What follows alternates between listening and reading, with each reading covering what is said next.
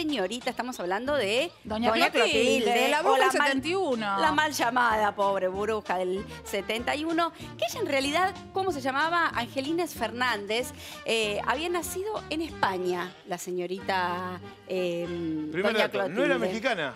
No era mexicana, no. Después, este, después sí eh, asumió la, eh, obtuvo, perdón, la ciudadanía mexicana, pero había nacido en España. Así que, si querés, vamos a ir recorriendo Por un poquito. Eh, esta enamorada de Don Ramón, que Don Ramón siempre estaba en problemas y ella le tiraba los galgos, pero Don Ramón En la no vida el real, guante. ¿qué pasó con esto? Porque nosotros charlamos acá en este programa con la hija Con Paloma. de Don Ramón. Ah, con la hija de Don Ramón. Sí, entonces, ¿qué, qué pasó ahí? ¿Hubo un romance? ¿No hubo un romance? A ver, Ramón Valdés, que era el actor ¿no? que interpretaba a, a Don Ramón, la había llevado a ella, a- fue la que la presentó, digamos, en el casting para. Gran para el. Ramón Valdés, ¿no? Súper. Un- un uno. Un súper, claro. Que bueno, su hermano también era un gran este, humorista, bueno, esposo también de Verónica Castro, eso hablamos otro día si quieren.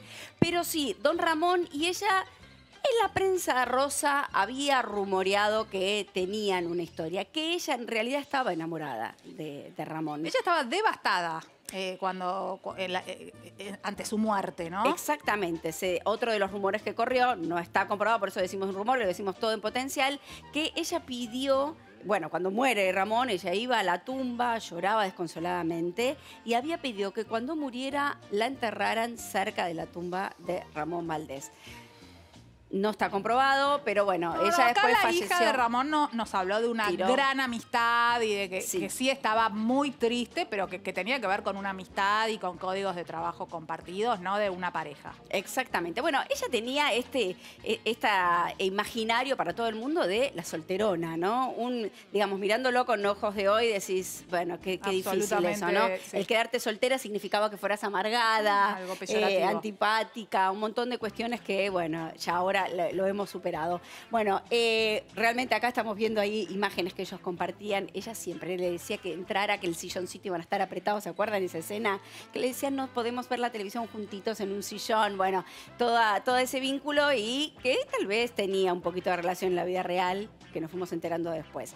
Pero lo más interesante de esta mujer lo dio a conocer la hija de, justamente de ella, de Angelina Fernández, eh, su hija Paloma, que contó después de muchos años esta vinculación que tuvo eh, Angelines con eh, la época de las guerrillas que habían aparecido contra eh, Francisco Franco, el generalísimo de España, y ella había formado parte de lo que eran los maquis, una Ah, no ella teníamos- tomaba de esto no armas. teníamos idea. Exactamente. Bueno, ahí tenemos una imagen, una imagen que nunca la, no, se había dado a conocer. De hecho, no era un tema que ella hablara mucho ni lo diera a conocer. Lo dio a conocer su hija, vaya a saber si ella quería en realidad o no. Bueno, otra época también, ¿no? Otro Otra momento. época, claro. Incluso, bueno, ella eh, cuando ya ve que la guerra civil estaba tomando un caliz más, cada vez más fuerte y mataban a los opositores, ahí es cuando viene para América con un previo paso por Cuba hasta que finalmente llega a México y se instala y hace toda esta, esta gran carrera como, como actriz. Pero un pasado desconocido de la querida doña Clotilde, que ahí eh, la vemos, bueno, que justamente se instala en, México en el año 47 y le dan la ciudadanía mexicana finalmente. Ella muere siendo mexicana y tenía eh, el acento también, ¿no? Porque eso tenés que lograrlo. Uno la escuchaba y en ningún momento tenías esa cosa castiza que podrías reconocer en su forma de hablar.